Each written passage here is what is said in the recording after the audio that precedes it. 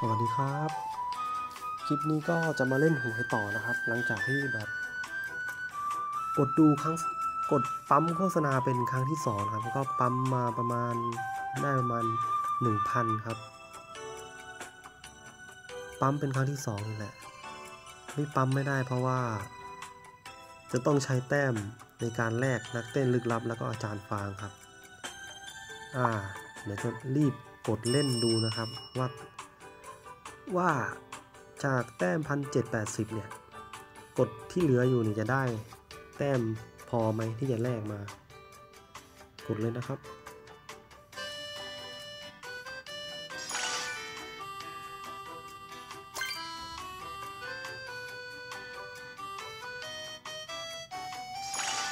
ถ้าจำไม่ผิดหวยนี่ เล่นจำกัดลิมิต วันละห้าสิบนะครับ แต่ผมว่าไม่ได้นับสักทีนะนับช่วงแรกๆ แล้วพอแบบอัปเดตไม่รู้เขามีการเปลี่ยนแปลงอะไรหรือไม่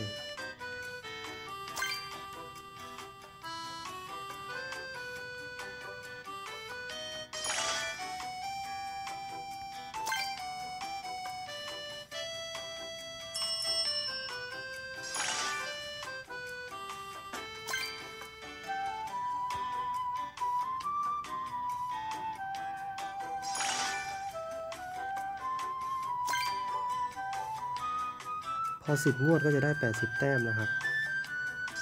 ถ้าเราเล่นครบ 10 ครั้งก็จะได้ 80 แต้มมา ยังไม่รวมที่เราจะสุ่มได้นะครับ ไอเทมในนี้มันก็สำคัญหมดนะครับ ไม่ว่าจะเป็นบันทึกการฝึกอบรมพนักงาน ไอปลาคุกกี้คุกกี้แสนอร่อย แล้วก็แต้ม แต้มนำโชคก็ต้องเอาไปแลกครับ เพราะว่าคะแนนของของอะไรล่ะเดไอ้คะแนนร้านนะครับ คะแนนบริการเนี่ยมันต้องอัพพนักงานนะครับ หรือจ้างพนักงานมาพอแบบเราระดับเงินเงินสองขึ้นไปแล้วนี่มันก็ต้องเริ่มอัพแล้วครับ ไม่งั้นแต้มมันไม่พอ ต้องอัพพนักงานทุกคนนะครับ โดยใช้สมุดนี่แหละ เราก็จำเป็นที่ต้องมาหา แต่บันทึกการฝึกอบรมเนี่ยหาได้จากใช้เงินในเกมก็ได้ครับ แล้วไปรีร้านเอา กดออกเข้าใหม่ครับ คุกกี้ก็เหมือนกันครับ อันละห้าหมื่นห้าหมื่นครับหรือไม่ไม่เกินห้าหมื่นสองเนี่ยแหละส่วนหวยอันนี้ก็เป็นผลพลอยได้ครับมันก็มีให้มา แต่ผมอยากได้แต้มมากกว่า จะได้ แลกได้สักที นี่นะครับข้อข้อเสียของการที่แบบไม่ปั๊มโฆษณาแรกๆ แล้วก็ไม่ได้มาเล่นด้วยนะ มันก็เลยแบบทำให้ช้าตรงจุดนี้ครับ ดังนั้นถ้าใครแบบเพิ่งมาเล่นก็ แล้วไม่เติมอะหรือยังไม่แน่ใจว่าเกมจะมีระบบแบบผูก ID ล็อกอินด้วย Gmail หรือ Facebook ได้ ก็ต้องปั๊มโฆษณาไปก่อนครับทนเอา ถ้ายังไม่อยากเสี่ยงเติมนะครับ เพราะว่าเกมนี้คือ ถ้าข้อมูลหายนี่หลงกดลบนี่คือเล่นใหม่นะครับ มันคือมันจะแค่บันทึก บันทึกข้อมูลลงในเครื่องเท่นั้นครับนี่แหละคือข้อเสียมัน ถ้าอยากให้ผู้พัฒนาเขาแบบปรับเปลี่ยน แบบมีระบบผูก ID เนี่ยก็ต้อง แจ้งไปทาง Facebook ครับ แล้วก็ส่งเมลไปหาเขาเยอะเดี๋ยวเขาก็น่าจะทำนะครับ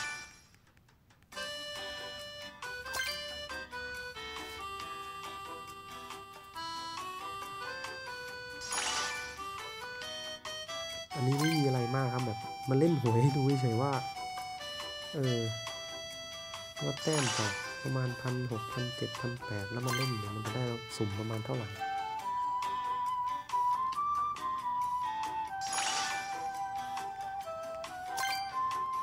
อันนี้ผมเพิ่งเล่นครั้งที่สองนะครับ แบบ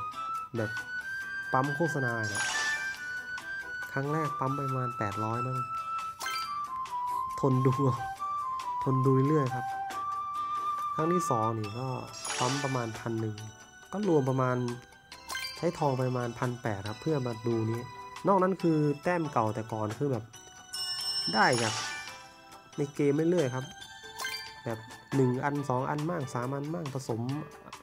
ไอเทมในเกมมั่งมันก็ได้มาครับ แต่มันก็ไม่พออยู่ดี เราก็ต้องมาปั๊มโฆษณาครับถ้าเราไม่เติมตังจริงไม่งั้นมันก็ปลดล็อก พวกบุฟเฟ่แล้วก็ปลดล็อก ห้องโถงไม่ได้ครับ ปลดล็อกห้องโถงได้อยู่แต่ไม่สามารถ เอาแต้มมาแลกนักเต้นลึกลับได้ครับ มันก็เลยจำเป็นที่ต้อง ปั๊มโฆษณา เอาเพชรสีทอง มาเล่นหวยนี่แหละครับ แล้วก็เอาแต้มไปแลกครับ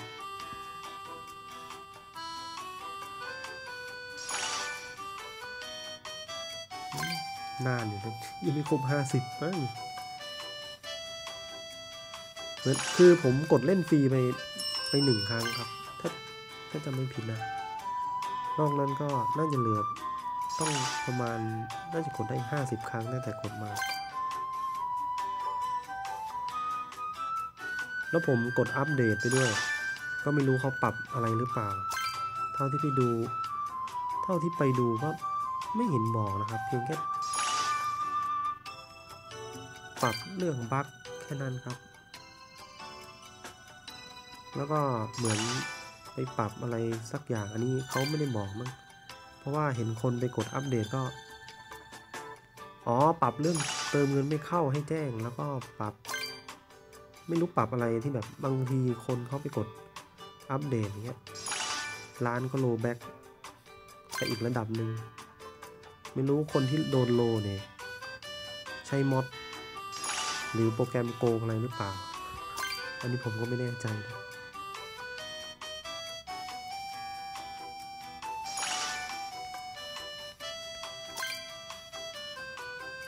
โอ้สองพันหกสงสัยจะไม่ถึง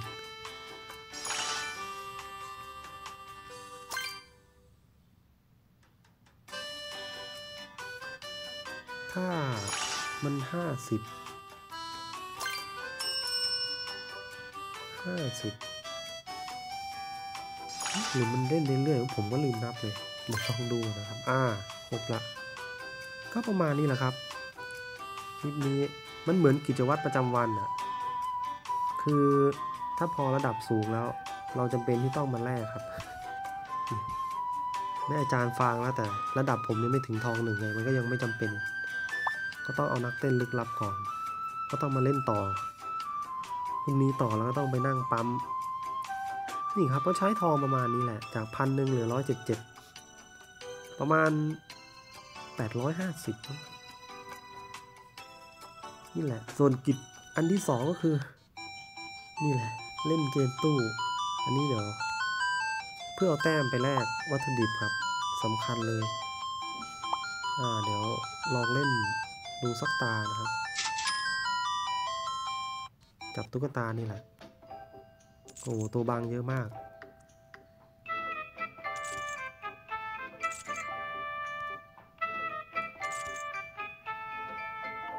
คือผมจะเน้นแบบ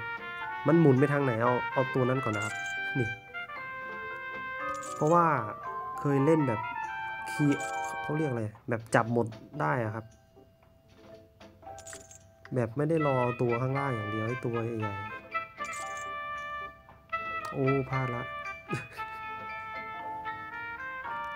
พอเวลาน้อยมันก็จะแบบรีบหน่อยโอ้หนีพลาดอีก โอ้ยงั้นต้องไปเอาเน้นกลางก่อนครับ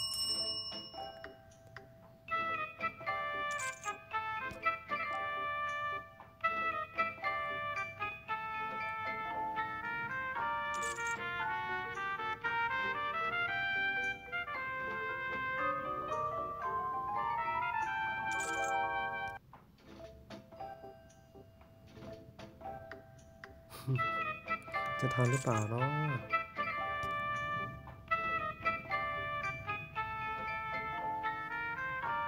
ว่าจะขึ้น